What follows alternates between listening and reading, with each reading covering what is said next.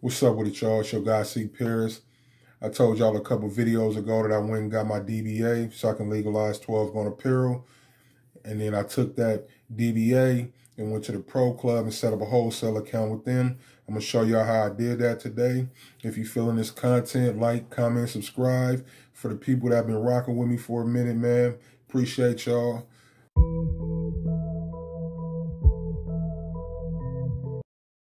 All right, so what I did was I went to Google, typed in Pro Club Wholesale Account. Once you get that typed in, you'll see this page pop up here. And then I clicked on the Pro Club Wholesale Online.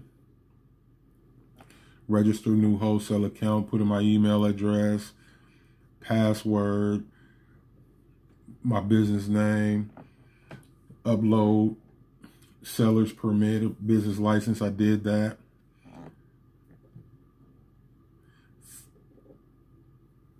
I already did this, so I'm not going to sit here and fill in everything, but just show y'all. Uh, I just typed in 12 Gone Apparel on my Gmail. Um, put in my name, phone number, fax. I don't have a fax, but address, city, state, zip, click on it, show I'm not a robot. Click that I agree to the policy. I want to receive news, letters and stuff.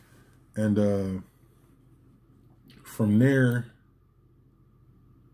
it was just a short time after I submitted it, like within the next, by the next day, I was approved to be able to go, to be able to check it out. You know, here's the some of the stuff that Pro Club offers, some of the t-shirts, just some men's t-shirts here. Um, I know that with Pro Club, you got to buy most of the t-shirts come in pieces of six at a time. They got varsity jackets, which we'll be getting into eventually. Tank tops, whatever. Um, camo pullovers and stuff. Here's the e-catalog here. This kind of shows you, see, Pro Club, comfort and style. But it's some of their products, crew neck, V-neck, pockets, curved, hem tail, outwear, athletic shirts.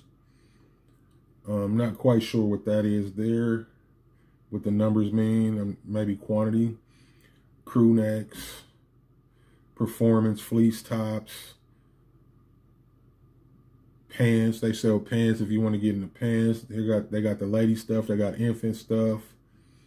Um, but they offer a lot of different products for you.